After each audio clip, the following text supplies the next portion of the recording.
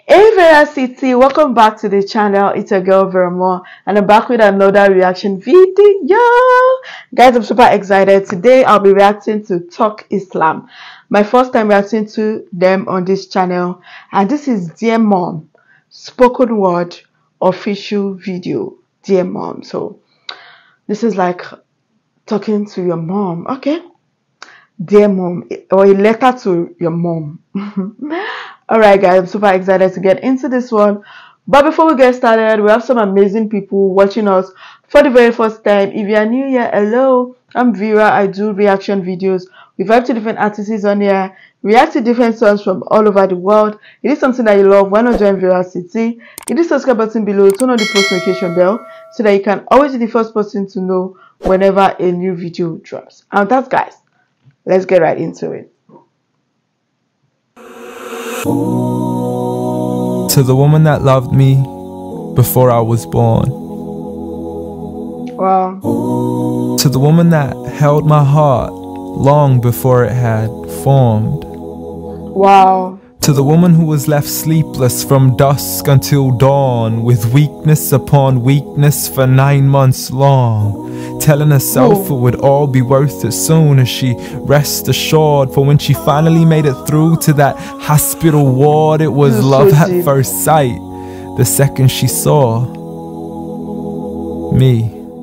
I mean, she's a type that would give up her only slippers just to make sure that my toes were warm. See, she would always favor me despite the fact she always needed it more. She would wake up early every single morn to stand freezing in the cold, hanging up the Oh my god.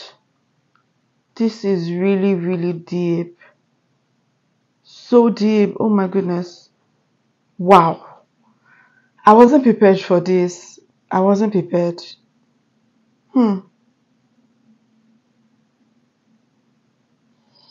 Hmm.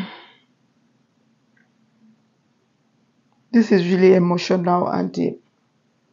Let's go on. clothes we had worn, standing at the stove for hours, cooking bowls of food we would Oh swarm. And whenever we weren't home, her heart would be torn. I mean, she could never Bro. ever sleep whenever we were gone. She would stay up all Oh night next to the phone, although I would never call. Though she sends me text messages, please, I can't sleep, just let me know that you're safe and secure. And whenever I was sick, Wow.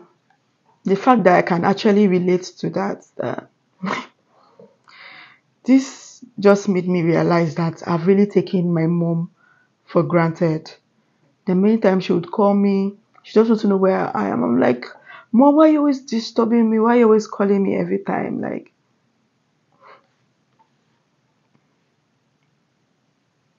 and that's what you just said. Like,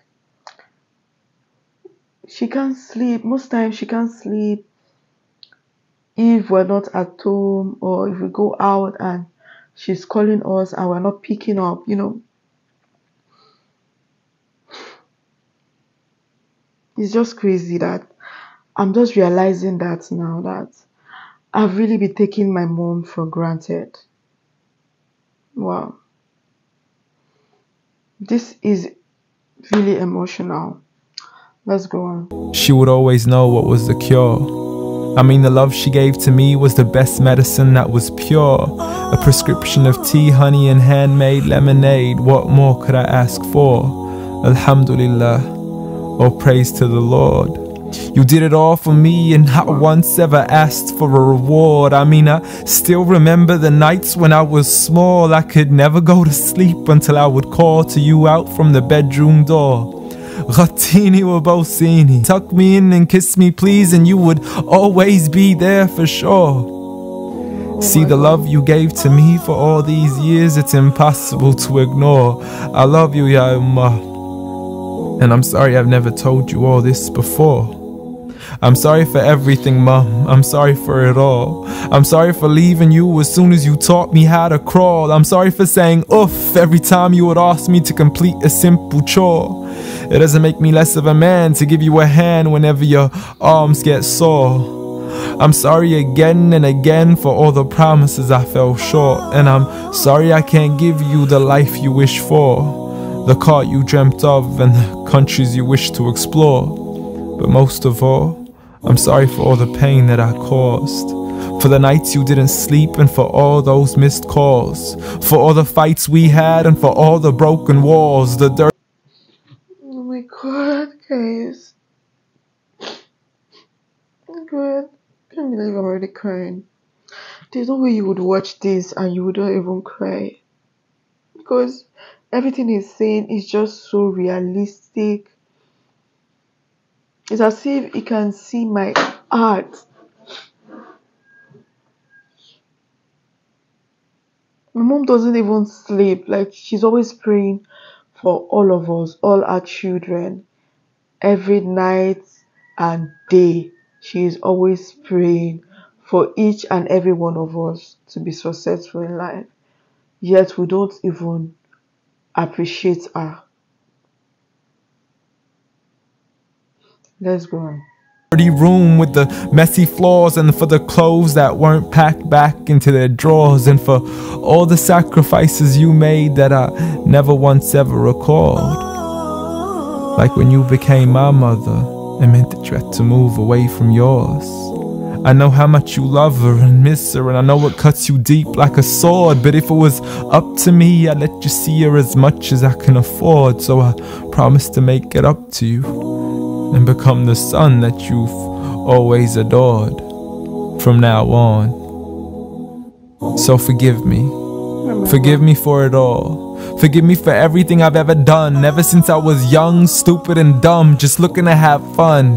Dear mom, I love you. I love you. I promise to never put anybody else above you, nor let anybody come in between. And even if I get married, I promise you will always be my queen.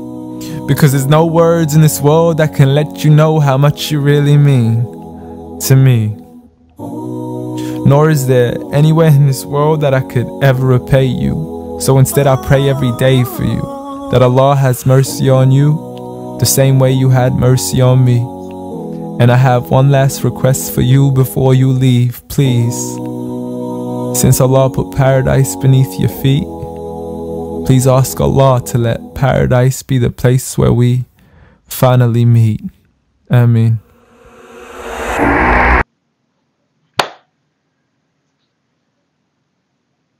Wow.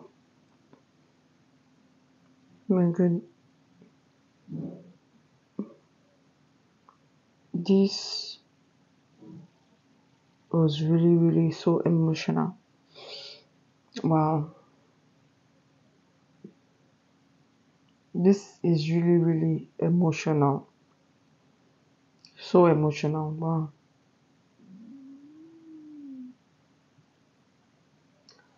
Right now, I am so speechless. I don't even know what to say.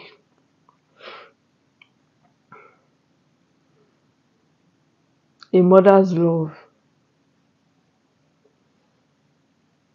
Most times we don't we don't value our mothers. We don't value them. We don't appreciate them. I remember anytime I'm going out or anytime I'm traveling, my mom would always call me and be like, Where are you? Have you gotten there? I'm also I'm like, ah, too much she's always calling me. Stop calling me. Like I I always took her for granted. And I'm just realizing that now. I always took her for granted. Like she's always praying for us, always wishing the best for us. Sometimes she wouldn't even eat. She would want me to eat. She would just want me to be fine, to be okay. Oh my god. After watching this video, it just gave me those goosebumps, those shivers down my spine. And I feel this is this is my own sign to start appreciating my mother. I don't know about you.